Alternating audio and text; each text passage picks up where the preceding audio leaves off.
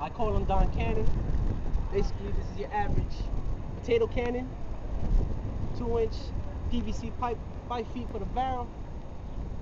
Four inch PVC pipe for the base. You got an adapter, end cap point, and a 42 inch, whatever, whatever, to make it work. I don't got the crop, the the things that you need. Got the gas cap right here with the igniter, creates a spark. That's what sends it flying. Your ammunition right here to send it flying. So you got your potato, flip the cannon over, stab the potato, like so.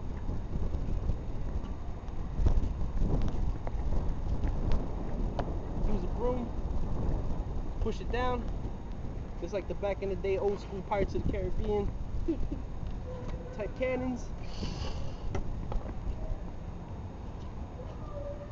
Aerosol spray. Hit this for three seconds.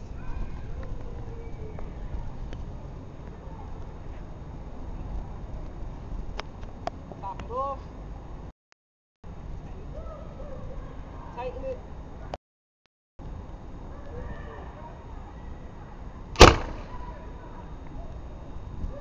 Oh, can't even see it anymore.